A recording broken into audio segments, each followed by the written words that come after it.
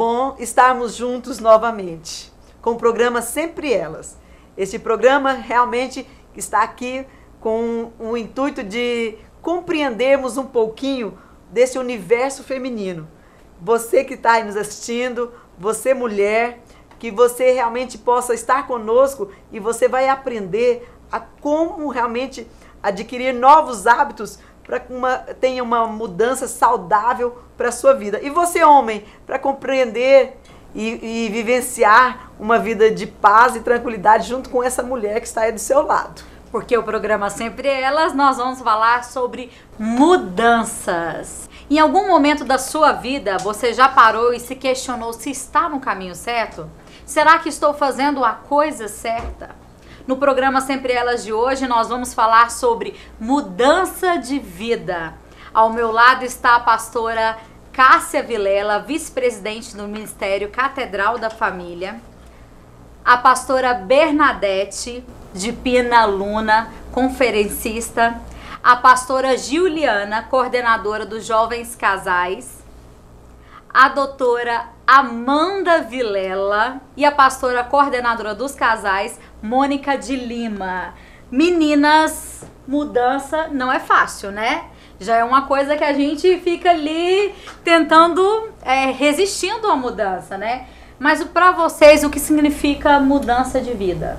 Tocos, eu vou começar então falando de um testemunho breve.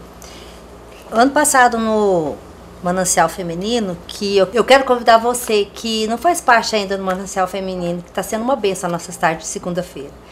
E a gente estudou um livro muito bom que falava de batalha na mente. E aquele livro me ajudou muito. Porque a gente está passando, em certa época da vida da gente, a gente passa por momentos. Eu estava passando um momento muito, vamos dizer assim, é, singular na minha vida. Eu precisava de algumas mudanças. E começou na minha mente que quando falava que tudo começa na mente. Uhum. A mudança de qualquer coisa que você for, falar, for fazer começa na mente. Então eu mudei vários hábitos. Hábitos que eu já nem eu não ia para academia mais, eu tinha parado. Voltei para academia. Eu perdi 4 a 5 quilos mudando a minha alimentação. Tudo começou um dia que eu comecei a pôr a verdade daquele versículo que era para mim não me conformar com as coisas que eu estava vivendo. Então eu coloquei aquilo no meu coração, na minha mente, e com a ajuda de Deus foi trazendo alguma coisa que precisava ser mudada, ter uma mudança em mim. E foi muito bom. E essa mudança ainda teve muitos benefícios. Então, tô mais bonita. Ah, sempre! Autoestima, autoestima lá, lá em cima. cima. Eu comecei a ter hábitos que eu já tinha parado. A pastora é, sugeriu para a gente, primeira hora do seu dia, colocar mesmo diante do Senhor, para a gente ter um momento com o Senhor. E isso foi muito bom para mim, que eu já tinha que a rotina, o dia a dia, que eu não tinha mais isso na minha vida. E aquilo passou a ser hábito. Começou a, a ter mudança na minha vida e começou a fluir outras coisas na minha vida. Então, assim, tem muitas mudanças que são feitas, que começam internamente, mas que os benefícios são muito grandes. Eu acho que é exatamente isso. Às vezes a mudança não é fácil. Eu acho é. que você decidir mudar, é. você também está decidindo sair de uma zona de conforto. É, é. E, e, eu falo, nenhuma mudança é fácil. Mudança é, Mudança no estilo de vida não é fácil, mudança de, de cidade casa. não é fácil, mudança de casa, mudança de escola, mudança de curso, muda... tudo assim, te tira da zona de conforto e te leva para um lugar inseguro, um lugar incerto. Porque assim, mesmo que você fale, nossa, mas se eu mudar para ser aquela é, melhor, mas aquilo, aquilo lá é incerto ainda para você, você nunca viveu aquilo. Então, te ir para aquela posição te dá um certo receio, mas é tão bom mudar, é tão bom ter esse clique assim, eu preciso mudar. E esse ano, assim, com o slogan da igreja, né, o ano da mudança, eu também pontuei algumas coisas que eu falei assim, eu preciso mudar. E eu pontuei coisas que eu quero mudar. Porque assim, não adianta você falar assim, ah, eu quero é, mudar. mudar mas é, eu vou é... mudar. Não, eu acho que você tem que ser específico. Eu quero mudar nisso, nisso, nisso. Acho que na virada também eu pontuei algumas coisas. Não, eu, eu pontuei mesmo. Ah, não fica olhando, não tem nada a ver com peso, não. e assim, eu pontuei, eu quero mudar nisso. E não só querer mudar, porque é, a gente não tem que se, a gente não se compromete só com a mudança, a gente tem que se comprometer com o processo da mudança, porque isso é difícil. É, existe mudança vários, disciplina, é, né? Agora existe vários tipos de mudança, né? É. Você vê que você focou numa, você focou noutra, mas como esse é o ano da mudança para nós, né? O tema da nossa igreja, eu fui para outro lado, porque esses aí já não são mais meus alvos, né? Eu já estou um pouquinho Aí eu, eu fui pra, diante de Deus a, a, buscar em mim o que era necessário mudança. Tem, olha, tem hora que você olha para você, não, tá tudo bem, cheguei numa fase da vida assim, confortável. confortável. Aí eu fui, fiz a minha campanha e perguntei a Deus o que, que era necessário mudança em mim. Que tem certa mudança, é um estilo de vida, não é? É um estilo de vida, estilo de hábito que você tem que mudar. E eu fui perguntar a Deus e Deus falou, foi muito muito simples, muito reto, muito direto comigo. Me priorize esse ano. Porque às vezes você gasta tanto tempo com academia, lendo livros e fazendo tantas outras coisas. você gasta com casa, com trabalho, com internet, com, com igreja até. E você esquece de buscar Deus em oração e entrar para dentro do seu quarto, fechar a porta e orar e meditar na palavra. Então, o que Deus nesse ano é, me deu a direção, onde eu preciso mudança, é na área espiritual, me aprofundar mais. Porque tem certas coisas que Deus vai mostrar para nós, dentro de nós, que muitas vezes você está pedindo algo para Deus e aquilo que está dentro de você você não está vendo, aquilo ali a, é a chave para mudar e trazer a resposta que você está buscando há tanto tempo, às vezes no casamento, né? Às vezes na vida dos filhos, na profissão, profissional tem alguma coisa dentro de você que Deus quer te mostrar e que é, é, é a chave para abrir essa, essa porta. Então, esse ano eu realmente, eu, eu, cada um tem um estilo. Pastora Cássia amanhece o dia, ela vai. Agora, eu não, não, não amanheço o dia e vou orar porque eu já orei muito tempo de madrugada eu ando perdendo sono. Então eu gasto um bom tempo, em vez de ficar pensando e focando em problema, eu gasto tempo orando e meditando na palavra. Agora você me pergunta, você levanta e vai abrir a Bíblia para ler? Não, a Bíblia está na minha cabeça.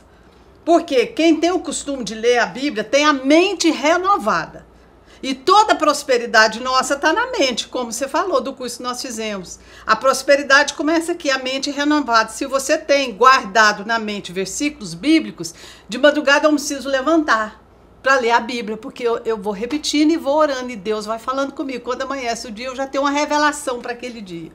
Entendeu? Essa é a mudança na que eu entendi que eu preciso esse ano eu que trabalho com jovens casais, né, quando a gente acompanha e mudança no início de um casamento, ela é sempre traumática, muitas são muitas, muitas mudanças, mudanças, né? É, são duas pessoas diferentes, de criações diferentes, que vêm para dentro de uma mesma casa, de um mesmo lar, e tem que se habituar a algo, a hábitos incomuns ali, né? Aí tem o marido que é desorganizado, a mulher é organizada e a mulher não sabe fazer comida, ela tem que, que ela tem que mudar, a se dispor a aprender a cuidar de uma casa. Então assim, igual nós falamos no início, a mudança ela começa na mente. Quando a pessoa se dispõe a colocar a sua mente em prol daquele que é o criador da obra, que é o Espírito Santo de Deus, ele te ajuda no processo da mudança. Porque sem a ajuda do Espírito Santo de Deus, nós não conseguimos chegar em lugar nenhum. Agora, não é pela nossa força. Você tem que ter tempo para ouvir ele falar, né, Justamente. Né, Aí é onde a senhora foi buscar. A senhora foi buscar o quê? A profundidade, é. o conhecimento do Senhor. É porque que... muitas vezes a gente quer agir na nossa própria força.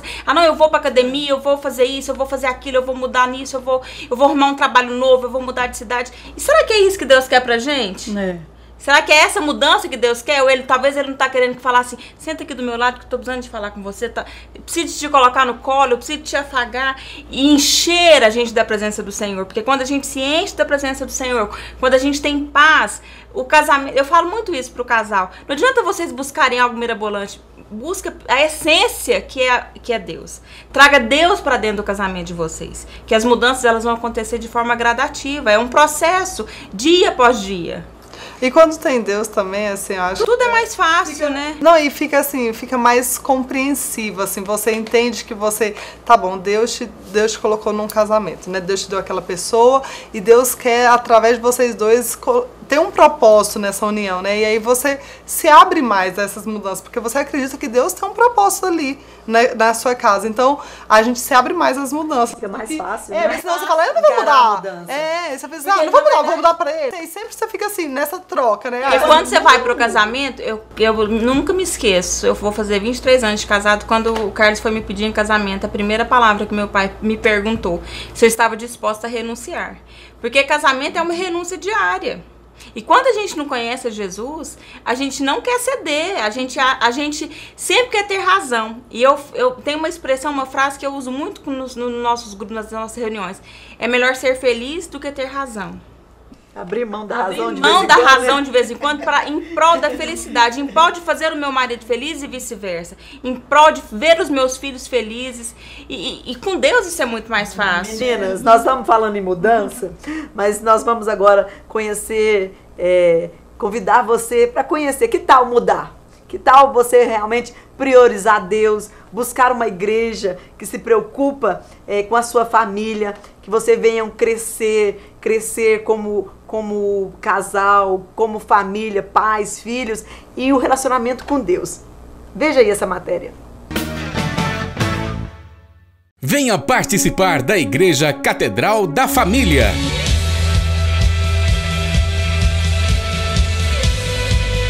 Ei você, meu irmão e minha irmã, venha para a oração de Davi. Todos os dias, de segunda a sexta, das 6h30 às 7h45. Venha louvar ao Senhor todas as manhãs. Segunda-feira, às 14h30, as mulheres têm um encontro marcado com o manancial feminino. Mulheres, estamos esperando você. Com certeza, muitas bênçãos para você. Às 19h30, Faculdade da Família. Vem estudar conosco toda segunda-feira a palavra de Deus. Quarta-feira, o culto da família. E no mesmo horário, suas crianças, pré-adolescentes e adolescentes estarão aprendendo a palavra de Deus em salas exclusivas. Essa igreja é uma igreja que preocupa com a nossa família, que cuida, realmente. Quinta-feira, 19h30, grupos familiares se reúnem nos lares promovendo a união. E eu tenho certeza que temos perto de você, perto da tua casa, um grupo familiar para te abençoar. E ainda na quinta-feira, às 20 horas, você que é jovem e casado, participe do Ministério Jovens Casais. Nós temos uma reunião alegre, divertida, onde você vai aprender muito acerca do início do casamento. Sábado, às 20 horas, Algo novo de Deus está esperando por vocês aqui todo sábado na Catedral. Catedral Jovem é o seu lugar. Vai ser incrível ter vocês aqui com a gente. Gostaria de convidar você a participar todo domingo de um maravilhoso café da manhã e logo em seguida a nossa escola bíblica que traz ensinamentos tremendos e poderosos para nossa alma. Você que é solteiro adulto, você que está divorciado, separado, nós temos aqui na Catedral da Família um trabalho voltado para você. Você que está querendo recomeçar a sua história, nós queremos te convidar. Sábado, 15 em 15 dias, nós estamos aqui para te acompanhar, trabalhar com você até você alcançar o melhor de Deus. Domingo às 17h30, momento de oração. E às 18 horas, culto da família. O teu Deus é maior do que o teu problema, querido. O teu Deus é maior que a tua dificuldade. Buscar-me-eis e me achareis quando me buscar de todo o vosso coração. Aqui na Catedral da Família, nós temos a Vigília Quarto de Guerra realizado toda a última sexta-feira de cada mês. Você é o nosso convidado especial, porque aqui Deus está realizando milagres, maravilhas, poder sobrenatural. Eu tenho muito amor e gratidão por essa igreja, porque foi aqui que eu recebi o milagre do Senhor. Eu fui curada de um tumor no ano passado e aqui eu recebi amor, acompanhamento e o milagre de Deus. A igreja disponibiliza ainda a Escola da Família, através de quatro cursos: PSF, Princípios para o Sucesso Financeiro, PCE, Pilares para o Casamento Estável, One, Cursos para Noivos. Educando filhos à maneira de Deus. Você é empresário, profissional liberal, autônomo, comerciante. Nós temos aqui na nossa igreja um departamento chamado Ação Empresarial. O nosso foco é angariar negócios, é fazer network, é dizer que você vai ser um profissional de sucesso um empresário de sucesso. A Igreja Catedral da Família também realiza um trabalho na área social, através da ABM, onde centenas de famílias são assistidas diariamente. Eu agradeço muito a esse projeto porque eu aprendi muito, fiz novas amizades aqui também, né? Através da internet, com cultos ao vivo e online, suas redes sociais e programa de televisão, a Catedral da Família vem levando a palavra de Deus em todos os continentes da Terra. Vocês acabaram de assistir aí uma vinheta do que é a Igreja Catedral da Família. O que nós podemos oferecer de bênção para você. O que nós queremos é o seu bem-estar, seu, da sua família, do seu lar, dos seus filhos. E nós temos um convite especial para você. Olha, vem estar conosco. Aqui tem um lugar muito especial para você e a sua família. Catedral da Família. Nós aguardamos você aqui. Pagole Fogões. Conta com a linha Foco, especialmente desenvolvida para sua residência, casa e chácara. Os fogões industriais da linha Lavoro, ideais para restaurantes e cozinhas industriais. A linha Utilitar, perfeito para locais com pouco espaço. Todos os fogões com estrutura reforçada, com opção de baixa ou alta pressão e com ou sem forno. Pagole, há 20 anos produzindo fogões para sua casa, empresa ou igreja. Acesse pagole.com.br ou ligue 62 3586 2419. O que é, o que é que a família toda adora e todo mundo sempre quer? Tem refresco, macarrão, tempero, suco de caixinha, massa pra bolo, macarrão instantâneo e gelatina. Tantos alimentos perfeitos em cada detalhe. Adorale! É tudo feito com carinho, é tudo muito gostoso e preparado do seu jeitinho. Quem souber o que é que fale, Adorale, Adorale. Adorale Alimentos, é puro sabor. O Goianão é a festa do futebol. É paz, é alegria, é gol, é gol. É festa na arquibancada e no coração.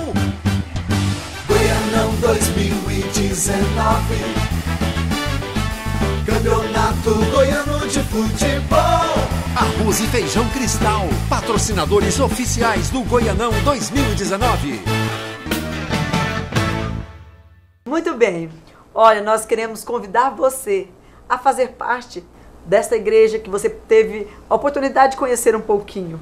Que tal começar um ano, um ano mudando? Nós estamos falando aqui no Sempre Elas sobre mudanças, mudanças de vida, mudando para melhor, buscando essa mudança interior que vai refletir no exterior. Então, que tal você também mudar? Vem estar conosco, você mulher, toda segunda-feira, às 14 horas e 30 minutos. Nós estamos aqui com cursos maravilhosos para abençoar a sua vida. E agradecer a grande audiência, né, pastora? Ah, com certeza. Já que várias mulheres estão vindo através do programa. É verdade, é verdade. Meninas, agora no segundo bloco. Vocês acham que as mudanças, elas trazem também alguns traumas? Olha, eu acho que traz trauma quando a mudança é imposta, não é, é não sai da pessoa. Sabe aquela coisa assim? imposta, tipo, ai, você tem que fazer isso, você tem que ser desse jeito, você, você precisa mudar de escola. quando, quando é preciso mudar também, né? É, é mas é preciso mudar de, também de país. O, é. o, o mais beneficiário em qualquer mudança é a gente mesmo. Você pode ver, quando a gente muda, o outro muda também, porque vê a nossa mudança. Então, nos relacionamentos, eu quero também convidar você, vem fazer um curso aqui na igreja. A pastora Gil ministra para jovens casais e a gente tem curso para você, para seu casamento ficar melhor. Já tá bom, vai ficar melhor. E aí, é muito bom quando a gente vê os casais que, porque sempre no casamento fala assim, não, ele precisa mudar. Então a mudança traumática sai aí, porque às vezes eu mudo por causa dele.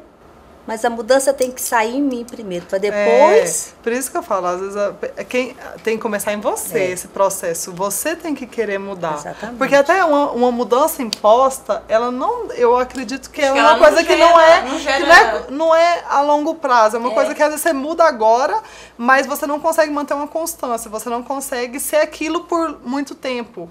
E porque você não, não foi gerado em você essa necessidade. Então, assim, eu acho que tô levando para esse lado. Eu acho que dessa forma pode trazer traumas. Assim, quando a mudança não sai de dentro, não sai de você, é pelo outro, você faz pelo outro, é, quando você é obrigado a mudar, mas acho que quando parte de você, eu acho que é, é um grande aprendizado, acho que quem sai ganhando... Na verdade, toda mudança, a princípio, ela tem os seus transtornos. A gente pode observar quando você muda de casa, né? Você tem que desfazer, você tem que montuar nas caixas, levar, carregar, dá o trabalho que isso dá.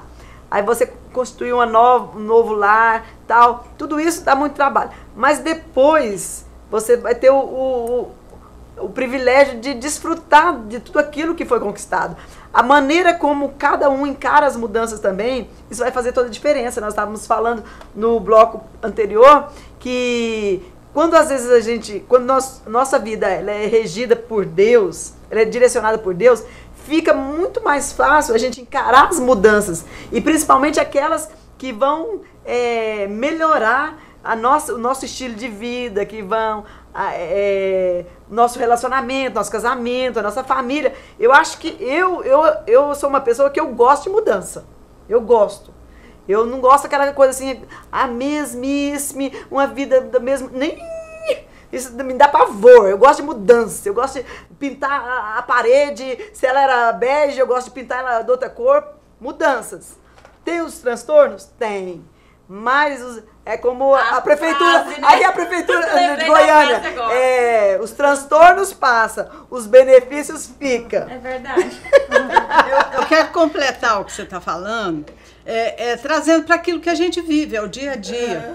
E eu não posso fugir daquilo que eu sou. E, e, a Bíblia fala que nós somos espirituais, eu tenho que falar como uma mulher espiritual.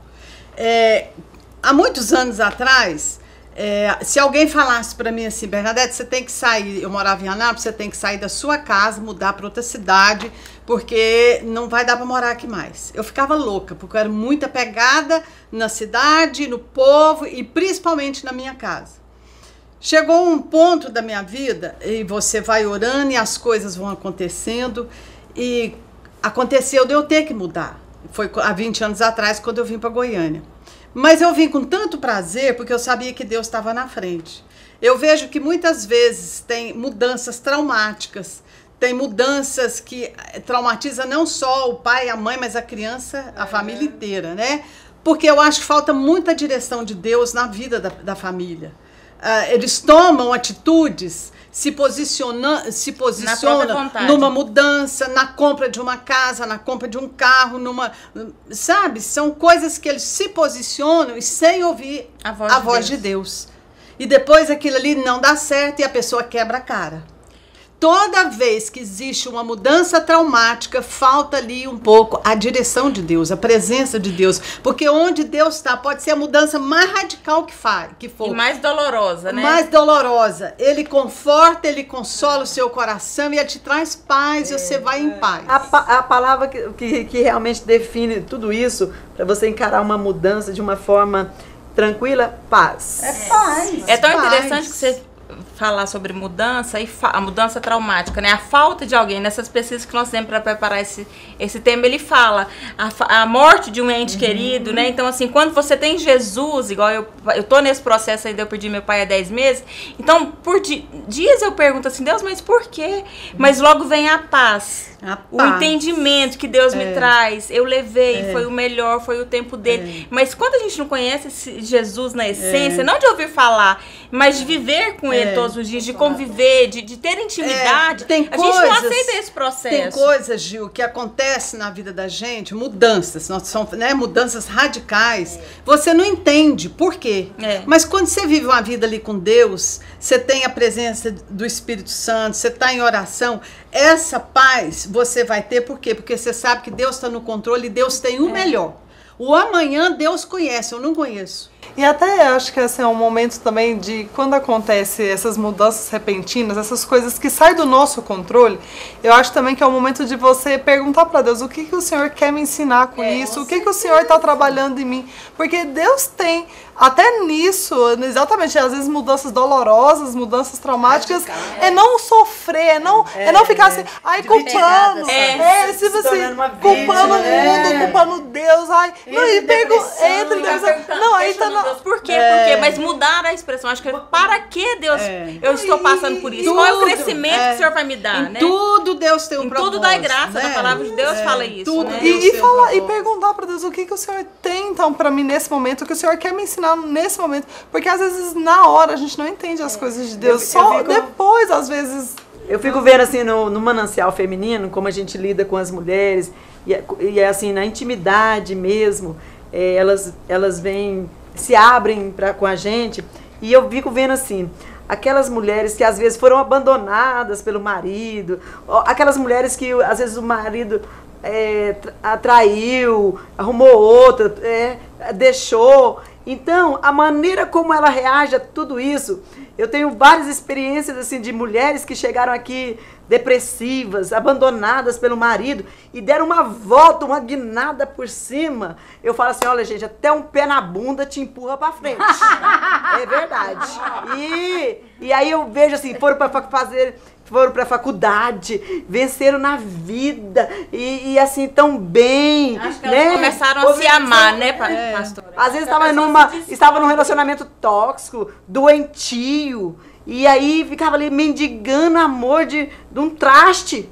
E aí, minha filha, ah, e aí muitas, hoje, hoje elas estão por cima, deram a volta por cima, foram para faculdade, estão é, um novo emprego, novo marido, né? É porque a autoestima foi tratada. Foi né? tratada. Aí a gente, como tá, Mônica, hoje eu tô me sentindo bonita, né, Mônica? Isso é autoestima. Ah, porque aqui, nós como igreja, nós fazemos tudo para que os casais continuem casados. É, mas é. tem casamento Agora, que, é não, que foge a, a, É bom a gente foge chamar controle, atenção. Né? Critério, né? É, é bom a gente chamar atenção para que nem todo tipo de mudança ela, ela é boa a mudança que não vem da direção é, de, de Deus, Deus, ela vai é. ser traumática, ela vai levar a depressão, ela vai te levar a questionar a Deus, ela vai te levar a ser uma pessoa infeliz. Então, antes de tomar toda decisão, toda mudança na vida, vamos ouvir a vontade de Deus. Tem os pós e os contras. É. Os benefícios, né? É isso aí. Primeiro versículo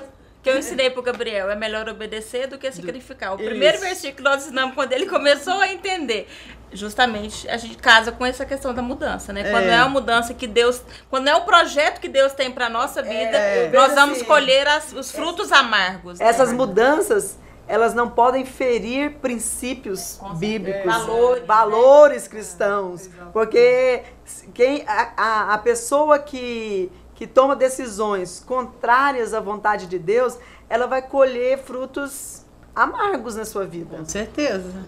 O reino de Deus é assim, aquilo que o homem planta, ele, ele vai, vai, colher. colher. Né? Então vamos colher coisa boa, vamos obedecer a Deus, vamos Com ouvir. Certeza.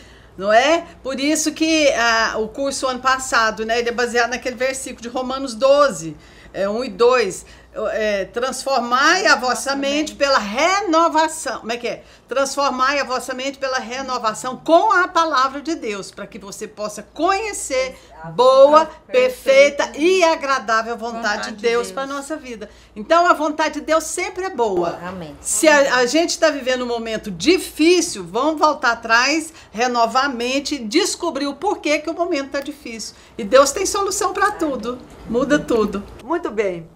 Nós estamos falando sobre mudanças e eu quero desafiar você a realmente experimentar uma nova mudança na sua vida. Nós aqui como igreja queremos ajudar você, seja ela espiritual, financeira, familiar, social, em todos os aspectos da sua vida, que você possa colocar alvos e definições para que você venha experimentar o melhor de Deus. O maior interessado, que você viva bem é Deus. Ele disse através de Jesus: Eu vim para que tenham vida e vida com abundância. Então, que você mude para experimentar, desfrutar dessa abundância que Deus deseja para você e para sua família.